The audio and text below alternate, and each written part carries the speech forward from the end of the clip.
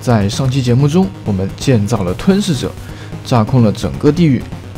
那么在建造吞噬者的过程当中呢，我们也是历经挫折，前前后后花了将近一个月的时间才清理完这片区域。那么在我们清理完这片区域之后，我们也建造了我们的第一座凋零骷髅塔。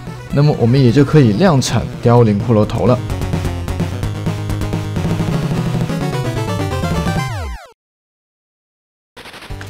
我们本期节目将要带领着大家来建造守卫者农场。那我们要做的第一件事情呢，就是要将它的四周的沙把它给填好。当我们填完了这些沙之后，就要手动的来拆除海底神殿。在做完了这些事情之后，我们要准备建造排水机。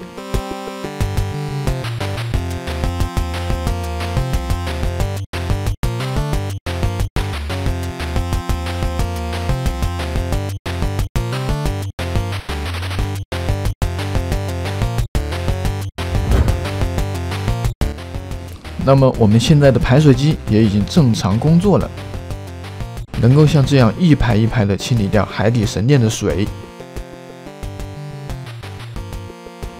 我们先跳下来看一下，哎，还有这些小杂鱼想攻击我。那么大家可以看到呢，这边的排水机已经排到了最下面，有的排水机呢已经卡住了。当我们清理完最下面这一层水之后，还要把下面的地给铲平。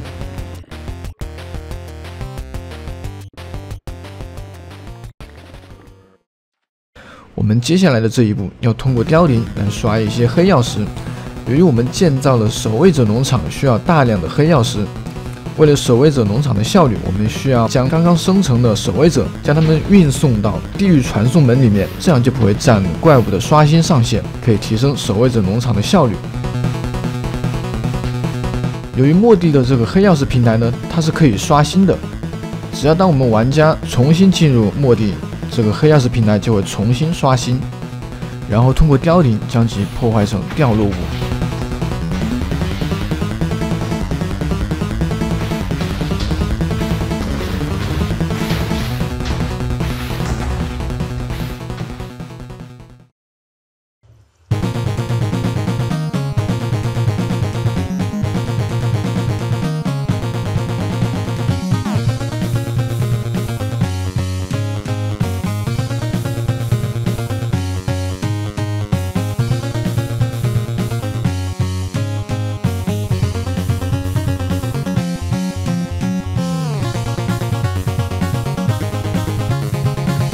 守卫者农场的设计，我之前参照了 Raceworks 的设计，但是它的设计呢，在生存里面做非常非常的困难，所以我最后也是放弃了，采用了这种水电梯的方法，将守卫者全都给推上去。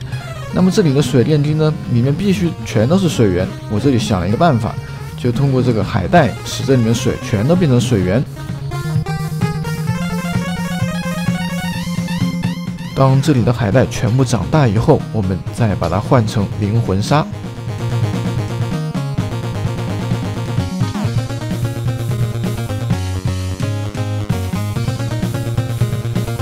最后一步，我们需要把上面的平台给搭好，不要透光。